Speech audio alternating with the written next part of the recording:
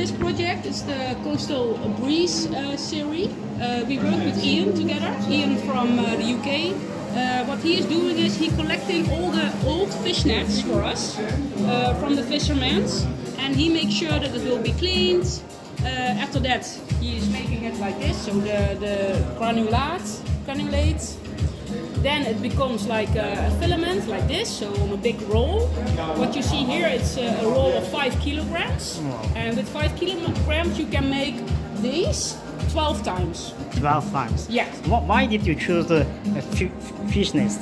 Uh, for the color, but also to save the environment, of course, because there's a lot of fish nets in the in the ocean, mm -hmm. and we would like to help out. So we, uh, yeah, we discussed. Um, we uh, defined an idea together with the whole team to help out to see how what we can do with this beautiful color. Because yeah like you can see it's really a beautiful color uh, the color of the, the sea actually. And uh, we created uh, a whole line with uh, the hanging lamps and also with the table lamp. So that is the table lamp you see here. So it looks like uh, this if you this is only the shade. Also this we will print this is not from fishnets. This is um, partly from new um, plastic material, so um, polycarbonate. And there's also some part which is already recycled, but not all of them. So then you get this beautiful design. Here you see a little bit how we do it. This yeah. is a small version of a big version. And here you can see easily uh, how we print this. This is one of our smallest printers.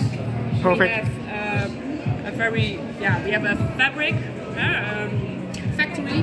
Well, in Turnhout, it's in Belgium, uh, where we have bigger printers, where we can have all these kind of uh, luminaires.